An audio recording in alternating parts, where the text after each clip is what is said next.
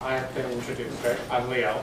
Um, Regina, my wife, uh, the smarter one, she's on the uh, steering committee for PostGIS, and I'm not, so there you go. Um, I will defer asking you all to introduce yourselves. Uh, We'll get through the presentation, and that should last about an hour, and then we will go upstairs, that's where we will have a very fancy feast and, and alcoholic beverages and all that kind of stuff. So, um, we'll do an hour here and then maybe an hour upstairs, okay? And at that time, I may ask you to introduce yourselves. Um, what we are really, what we want to accomplish today is, um, not just go through a bunch of slides, but we want to show you PostGIS in such a way that you can go home tonight or maybe at work tomorrow and be able to redo some of the examples that we're showing you, to actually put PostGIS to use instead of in the abstract. And so we're gonna do that using uh, live demos, right? And the presumption is that most of you, if not all of you, uh, have some Postgres background. Even if you don't, that's okay, you'll still enjoy the presentation. You can still go and mimic what, what we have done. Um, and uh, we will go through our demo, and then we will uh, take questions at the very end. Okay?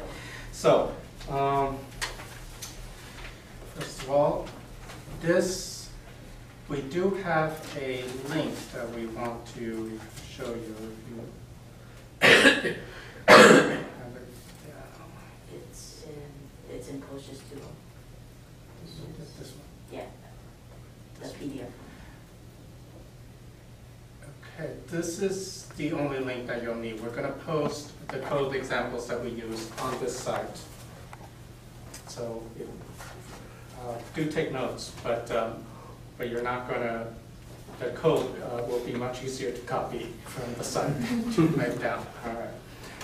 Postgis.us, all right, so here we go.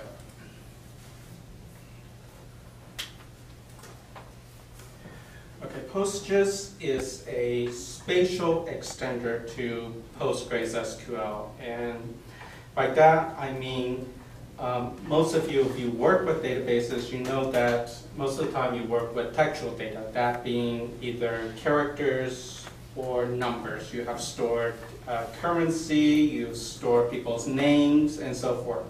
Adding a spatial extender gives you more data types in particular gives you uh, what are called geometry uh, data types. Now, let me show you the way that you can install PostGIS on your installation of Postgres. I'm not going to go through the whole thing, but um, the, uh, the links will be in the slide that we put up on where to download the various binaries.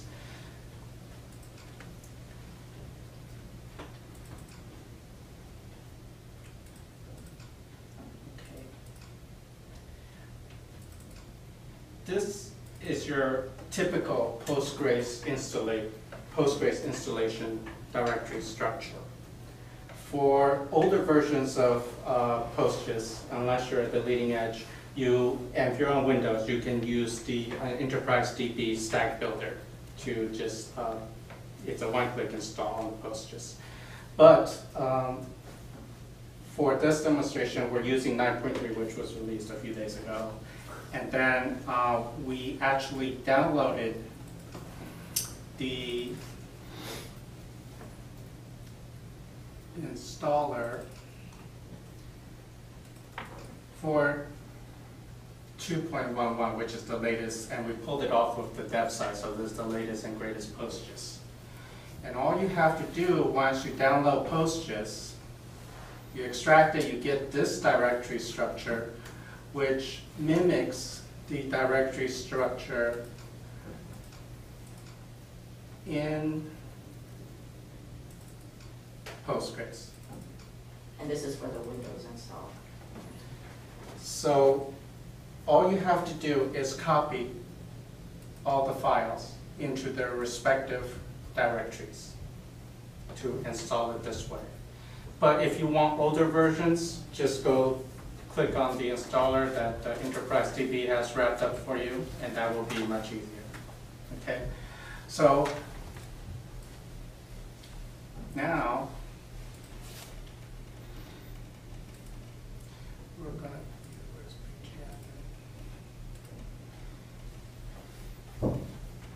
This is the uh, PGAdmin tool which uh, you use to administer your Postgres installation.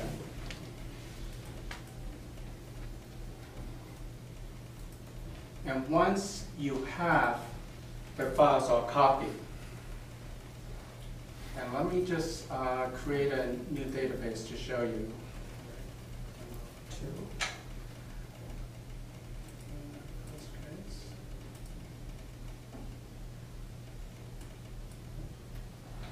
And uh, I created a new database here. To add PostGIS, you just go down to new extension. These are all the extensions that's available to you. And once you've added those files in, you can choose PostGIS. And then you hit OK. And now you have PostGIS. That's all there is to it. And now you have available to you all the features and functions in PostGIS. So that's the installation. It's a simple, once you have the files, new extension, choose PostGIS, and then you are ready to go. For this demo, um, this is the database that we'll be using. We've also added um, Tiger and Tiger Data. Um, We added uh, a a geocoder extension and a fuzzy string match for one of the examples that we're going to show you. Okay, and again, with the extension model, it's fairly easy. Just, you pretty much have to click on create new uh, extension and you're there. All right? Um, This uh, fuzzy string match, is that related? Well, for the demo that we're going to, we're going to show you a geocoder. And for that, we're gonna need the fuzzy string match. That's why I included here. But uh, other than the geocoder part, the PostGIS, you, you, you'll be fine without, uh, with just the PostGIS install. Okay. All right, so. here is PostGIS. Once you have uh, PostGIS going, what you would want to do is get some data to play with. right? And for our demo, we got all of our data from the Massachusetts state, if I can remember the, uh, Yeah. and this is all free government data that we pay for with our tax dollars. Um, And they have uh, rapid transit. They also have um, anything that you can think of, digital elevations, uh, where the farm market, farmers markets are located, fire station markets are located, stuff like that. Okay, so this is where we got the data for today's uh, presentation.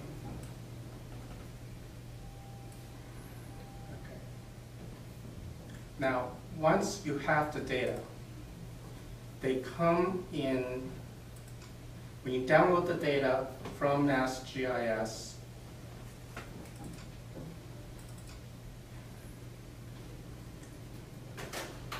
for example, these are the subway lines. They will come in this format. This is the Esri format, also known as shapefiles. So when you pull down the zip file, extract it, looks like this. And this is, has subway lines and subway stations. PostGIS has a nice utility that we can use to load shapefiles right here. It's a graphical tool that you can use to load shapefiles. And so to add the file that we downloaded, in this case the MBTA, rapid transit, I'm going to add both the station shapefile and the subway line shapefile. And I'll do open. The SRID is the spatial reference system. Um, Before you do any comparison across disparate uh, data layers or map layers, you need to get the spatial reference system to be the same. For Massachusetts, um, it's two six nine eight six.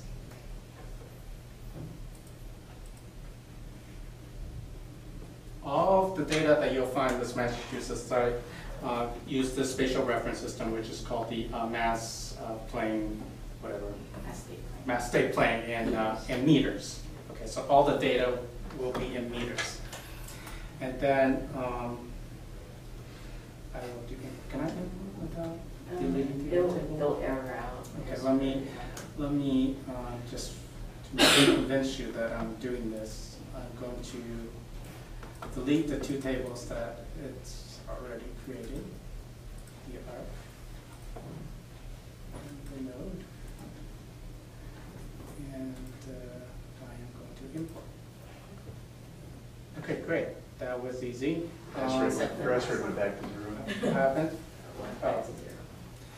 Do you wanna read? Yeah, do I need to put it? Yeah. it- What created all those tables? Hmm? Oh, we imported them with. uh, Oh, they came, they came with the import, okay. Yeah. Well, the, yeah, these are all um, things that we did already, but I'm deleting them so we can prove to this Yeah, is. This is where life demos. All right, so this is two, six, two, six, nine, six. This could be any random number, right? If you- No, no, no, no, Because no. if you look, they don't really state it on, on the Massachusetts site, Mhm. um, but it's the EPSG code. No, I mean, for my, let's say I'm playing with the data, I Yeah. can put in any number, do I have to specify that? Like, this Uh, would be, if I'm, I'm putting this data in a larger data set, maybe, Yeah. then there would be some kind of cross-referencing between those. Yeah, But if I'm just playing on my desktop. if you're just playing, it wouldn't matter too much. Because Right. it- this, the number becomes important when you want to convert to a different um, spatial projection. Oh, okay. Or if you're um, using data, um, just to keep track of the same, the data sets are in the same spatial reference, and you want to give it the same ID. Um, Yeah, in general, you want to get the right SRID. Yeah. Um, Should we talk about the table? The, the table that has it listed in? Um, Yeah, there's actually a system table that has um, all the spatial reference IDs here. So if you look at this table, you can see all the EPSG codes. And before you import data, you should make sure that it's one of these. Okay? I mean, if you import it with, with zero, you know, you'll be looking at um, analytics geometry that you learned in high school with the Cartesian coordinates starting at zero. That's fun too. You can, uh, you can draw triangles and prove the Pythagorean theorem, things like that. Uh, So, but, uh, yeah, if you want to have uh, some resemblance to the real world, you want to go ahead and, so I'm gonna import this now. Okay, so this creates my two tables, arcs and nodes.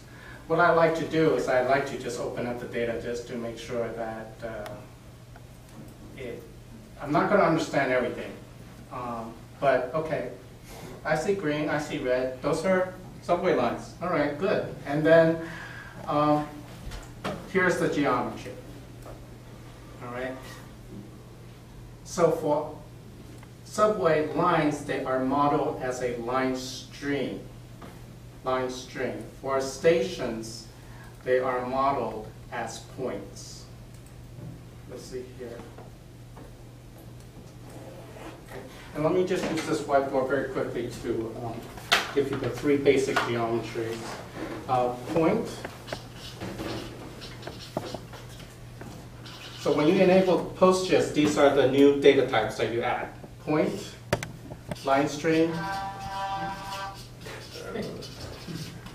okay, which is made up of two points and a line in between them, and then something called a polygon, which is your area.